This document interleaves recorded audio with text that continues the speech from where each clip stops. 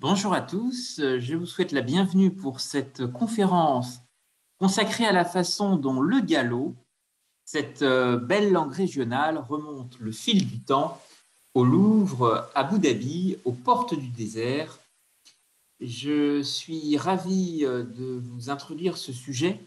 à travers un prisme assez atypique euh, autour des langues, puisque le prisme choisi, c'est celui de la lumière on va le voir dans, plusieurs sens. Euh, une lumière qui peut euh, être plurielle et vous allez le découvrir à travers euh, cette, conférence de restitution d'un voyage d'études dans les Émirats qui a été à la fois l'occasion de découvrir comment Abu Dhabi fait œuvre de diplomatie culturelle, de diplomatie d'influence avec l'Occident, et euh, aussi euh, comment l'émirat voisin, euh, Dubaï, en capitalisant sur un soft power tout à fait inédit à travers l'exposition universelle accueillie sur son sol, a aussi porté des thématiques futuristes à travers de nombreux pavillons représentés, dont le pavillon France qui était consacré au thème lumière lumière et qui euh, offre aussi euh, beaucoup de, euh, biscuits pour le, sujet qui, nous réunit.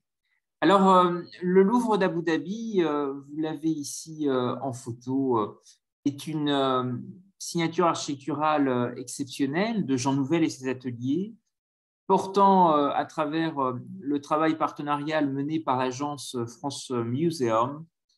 euh, l'ambition de poser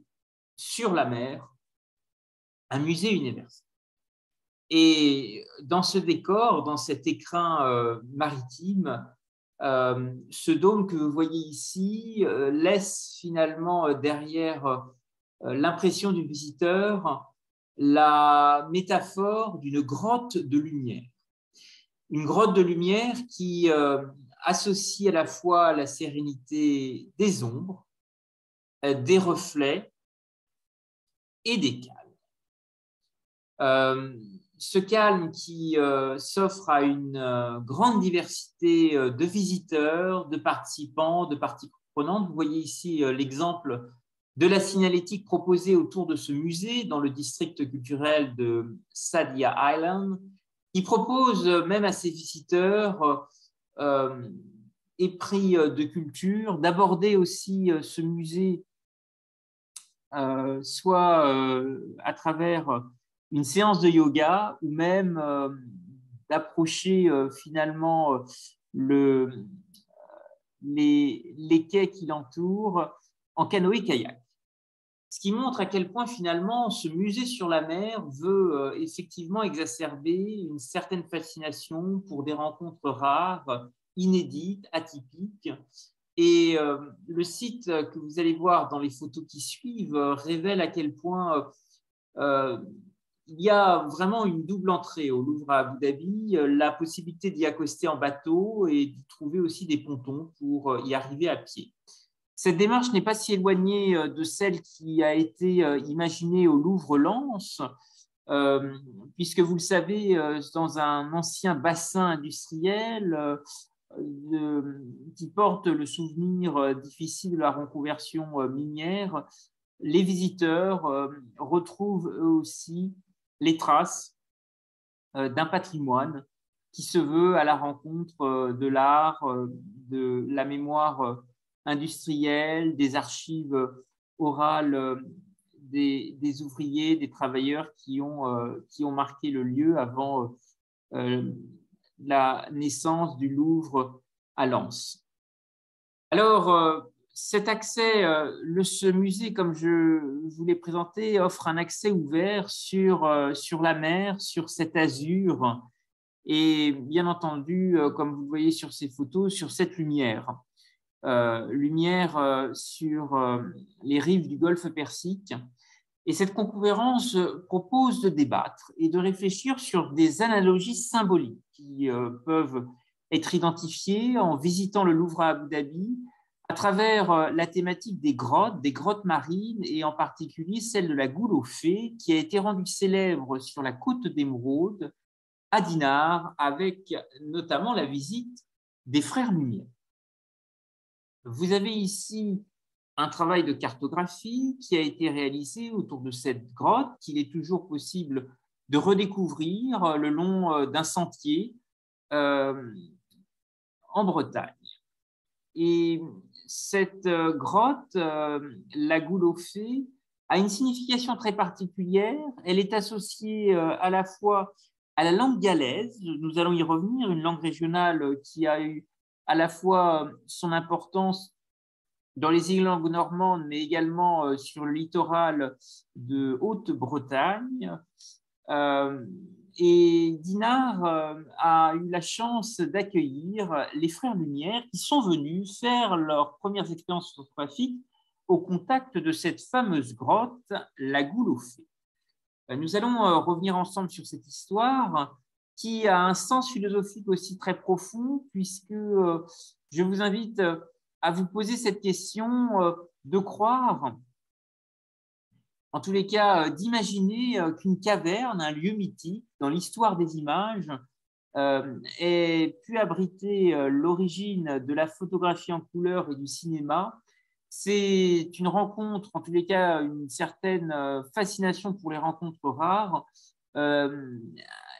actuellement visée dans justement la démarche du Louvre à Abu Dhabi.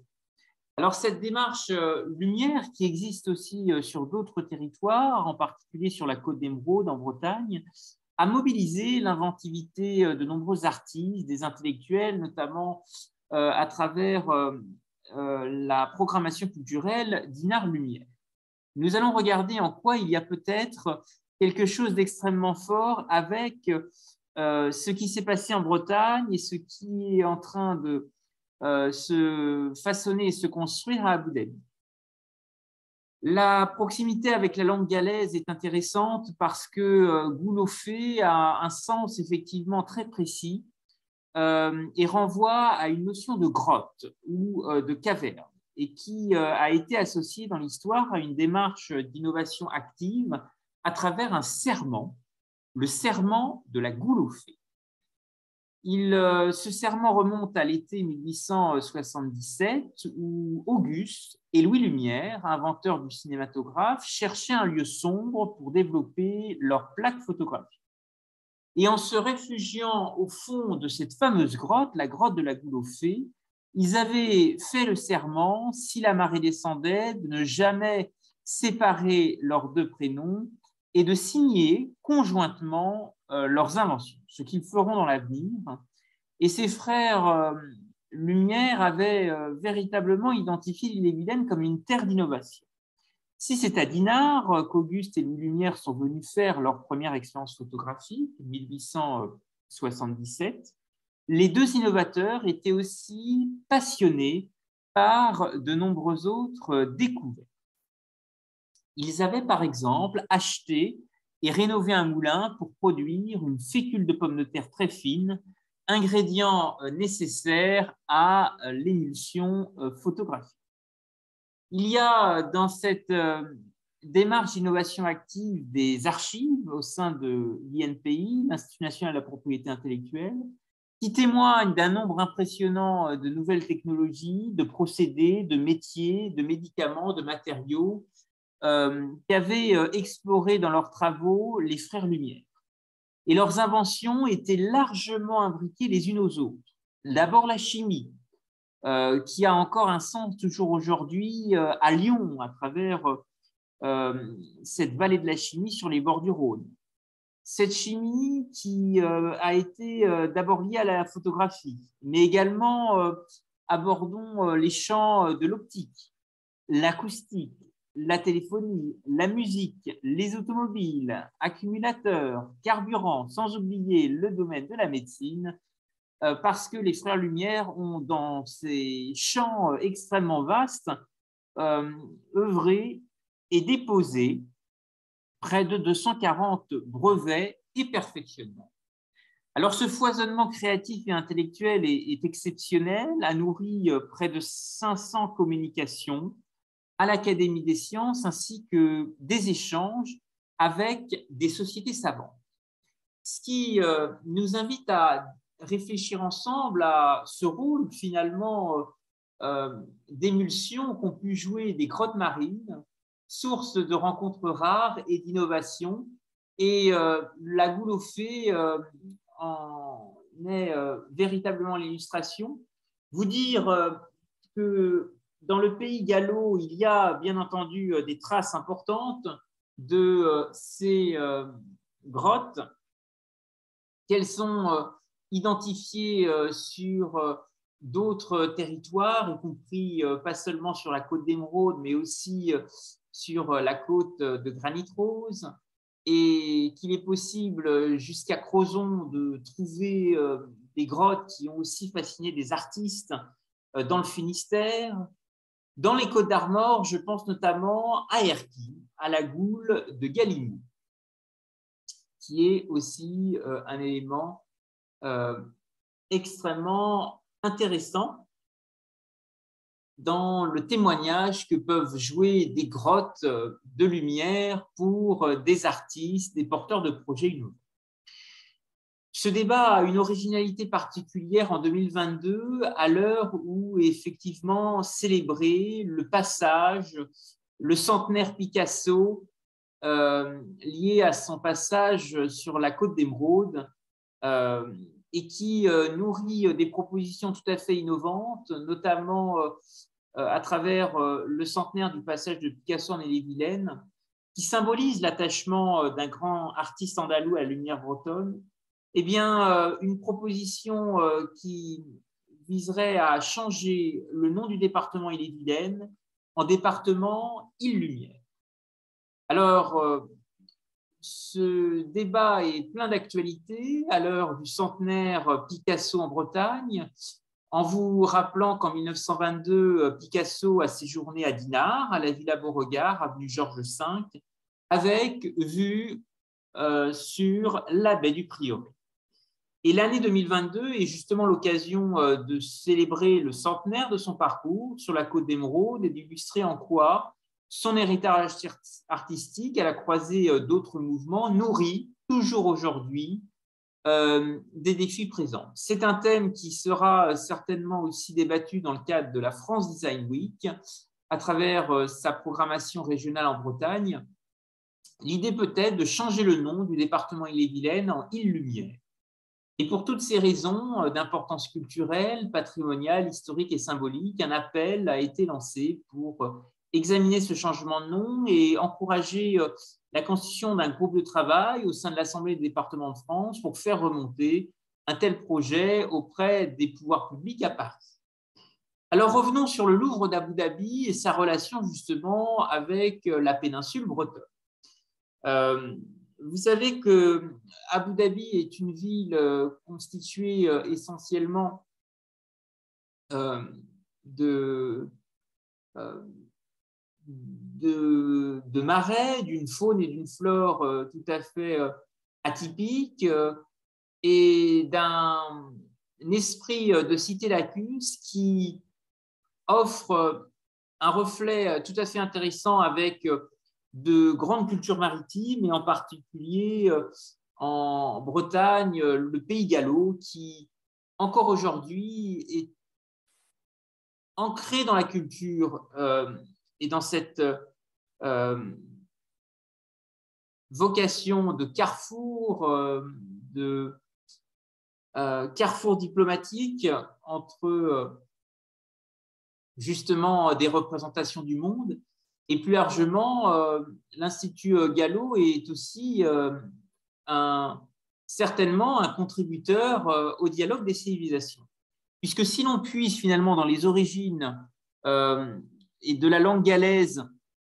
les traces de ces grottes marines, de ces grottes de lumière, de la au On y retrouve des inspirations exceptionnelles pour l'architecture contemporaine, des, inspirations croisées pour euh, le domaine euh, du design, des industries euh, créatives et culturelles, et un, rôle de passerelle extrêmement intéressant avec justement le golfe Persique. Vous pouvez retrouver de nombreuses ressources proposées par l'Institut Gallo en termes de lexicologie, de connaissance des langues. Et euh, cette euh, contribution des langues régionales à l'innovation est véritablement euh, la bienvenue dans de grands rendez-vous de bâtisseurs, en particulier dans des pays neufs comme les Émirats arabes unis, euh, parce qu'en étant euh, la puissance accueillante d'une exposition universelle comme celle qu'il a qu'elle a été à Dubaï, euh, il y a véritablement une opportunité aussi pour l'ensemble des pays participants et la participation française a permis à de nombreuses délégations régionales, de chefs d'entreprise, de décideurs territoriaux, de venir mesurer finalement euh, le miroir euh, créatif et, territorial de la France euh, à l'étranger. Alors, des traces ici, peut-être un détour par la Cité des Ducs, Dijon, terre de naissance de Gustave Eiffel. Vous savez qu'un escalier originel de la Tour Eiffel a été inauguré le 22 février dernier dans justement un parc de verdure qui est un site, une partie intégrante de euh, l'exposition euh, universelle euh, de Dubaï, que vous voyez ici et qui illustre à quel point de grands inventeurs français, Eiffel, rayonnent encore aujourd'hui aux portes du désert à travers ce morceau d'histoire, cet escalier originel qui est maintenant une œuvre d'art, qui est aussi le témoignage d'une amitié et ce prisme de l'amitié entre les peuples a un sens, bien entendu, très fort dans la diplomatie des cultures, la lumière, euh, et en particulier euh, l'escalier euh, qui a été inauguré à Dubaï a été à la fois un projet encouragé par une maison de thé, Jana Paris, et le fondateur de cette maison de thé était un ami de Gustave Eiffel. Et sa famille possède toujours une partie des escaliers d'origine de la tour Eiffel toujours la créativité autour euh, d'ingénieurs, d'artistes, de négociants, de, euh, de commerçants. Euh, il y a autour de, des Tejana un amour des chats, une grande créativité autour des félins et c'est quelque chose qui a fortement stimulé aussi la grande aventure de, ce marchand qui était un ami euh, intime de Gustave Eiffel. Alors, euh, le patrimoine Eiffel a des traces euh, encore très présentes dans nos régions, de Crozon à La Roche-sur-Yon, à travers un certain nombre de résidences, de villas de villégiature, de maisons démontables, de pavillons qui, à l'issue de l'exposition universelle, ont aussi été remodulés, déployés vers d'autres euh, espaces. Et ici, euh, vous voyez euh, un site qui fera date, qui est celui de l'exposition universelle de Dubaï. Une expérience exceptionnelle à laquelle j'ai pu participer et dans l'esprit des organisateurs, le désir profond d'offrir une agora dans laquelle les portes ne se referment jamais pour continuer à connecter les esprits et, construire le futur. Et cette boussole créative, euh, stimulée à travers trois districts, un district de mobilité, opportunité et durabilité, a bien entendu un sens aujourd'hui euh, du Louvre d'Abu Dhabi euh, à nos régions pour imaginer ensemble l'industrie magnifique, cette rencontre entre des artistes, des industriels, qui a fait une première éclosion en Alsace, à Strasbourg, et qui est une inspiration tout à fait unique pour l'architecture, le Made in France, la qualité aussi de nos terroirs, de nos savoir-faire. Et justement, près de quatre siècles après le traité du monde et de la lumière de Descartes, nos territoires peuvent être encore aujourd'hui des comptoirs euh, de créativité, euh, d'imagination euh, tout à fait exceptionnelle autour de cette thématique de, de, la lumière, des grottes qui ont été aussi des réceptacles, des sources d'innovation exceptionnelle et qui inspire encore aujourd'hui de grands architectes ou qui réactualise aussi des discours comme celui de Corbusier euh, le 6 février 1920 au de la Sorbonne, où il appelait de ses voeux à bâtir le troisième établissement humain, l'industriel, auquel nous n'avons jamais fait euh, sa place et qui s'est glissé euh, sournoisement dans nos villes, les a dénaturés, gonflés jusqu'à l'éclatement tentaculaire. Alors, il y a euh, dans l'exposition universelle Bas une réflexion très forte portée par le pavillon France autour du thème Lumière, Lumière, qui a mobilisé aussi euh, des métaphores artistiques, euh, les nymphéas de Monet, que vous voyez ici, de nombreuses réflexions autour des Lumières comme mouvement d'innovation philosophique, mais aussi technique, à travers l'édition originale de l'encyclopédie de Diderot et d'Alembert, Dictionnaire raisonné des sciences, des arts et des métiers, et puis d'autres pavillons européens, comme vous voyez ici, qui ont rayonné d'inventivité avec euh, la relation entre la lumière et l'architecture bioclimatique, le biomimétisme. Ce sont des sujets euh, qui auront euh, encore une fois la chance de rayonner de nouveau. D'abord parce que Rome, la ville éternelle, est candidate en 2030 pour accueillir une exposition universelle. Mais avant ça, Osaka, la Manchester de l'Orient, dans le Kansai au Japon, entend accueillir une nouvelle fois une exposition universelle en 2025. Ce sera la deuxième euh, initiative puisqu'elle avait euh, déjà accueilli en 1970 une exposition universelle. Et la thématique choisie euh, veut certainement nourrir le dialogue des cultures, le dialogue des civilisations si fécond depuis le Louvre à Abu Dhabi, puisque le thème choisi est de concevoir la société du futur, imaginer notre vie de demain à travers trois sous-thèmes, sauver des vies, inspirer des vies et connecter euh, des vies. Le site que vous voyez ici se veut euh, un laboratoire vivant des peuples, un laboratoire pour une société de l'avenir. Et c'est véritablement un sujet extrêmement euh, stimulant pour marcher peut-être sur les traces de nos grottes marines, d'y retrouver des sources de lumière et de création, et de remonter le fil du temps euh, du Louvre à Abu Dhabi vers d'autres rendez-vous, euh, peut-être des expositions universelles, comme celle qui vient de se terminer à Dubaï et qui euh, aura lieu en 2025 à Osaka, au Japon. Je vous remercie à tous pour votre attention et vous laisse mon adresse courriel si vous souhaitez recevoir les planches de cette conférence et aussi vous dire que ce sujet est aussi euh, mérite d'être largement débattu avec euh, l'ensemble du public. Je vous propose euh, donc d'ouvrir dès à présent les discussions. Merci à tous pour votre attention.